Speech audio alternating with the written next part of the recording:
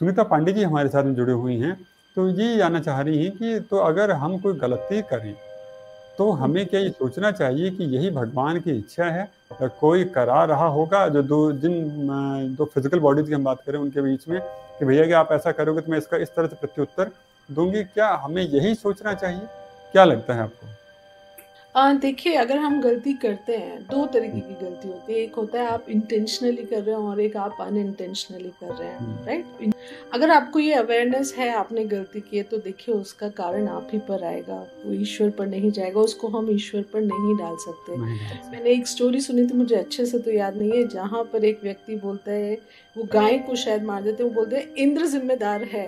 इसके लिए क्योंकि हाथ और पैर का मूवमेंट जो है वो इंद्र के ऊपर है।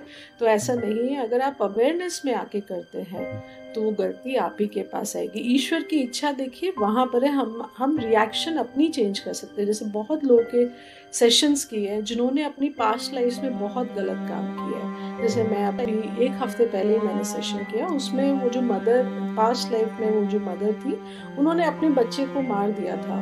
और इस लाइफ में भी बच्चे के साथ उनका जो रिलेशनशिप था बच्चा उन्हें पसंद नहीं करता था। तो इस लाइफ में भी रिलेशनशिप उनका ऐसा ही था। तो देखिए अपनी रिएक्शन चेंज करके हम उसको बदल सकते हैं। हम ये नहीं बोल सकते कि भाई ये हमने ईश्वर की ही इच्छा है। चीज़ें होंगी लेकिन रिएक्शन आपके हाथ में आपकी प्रवृत्ति आपकी नेचर आपकी पर्सनालिटी कैसे है और आप उसे कैसे सुधार सकते हैं वो आपके हाथ में है। वो ईश्वर के ऊपर नहीं डाल सकते।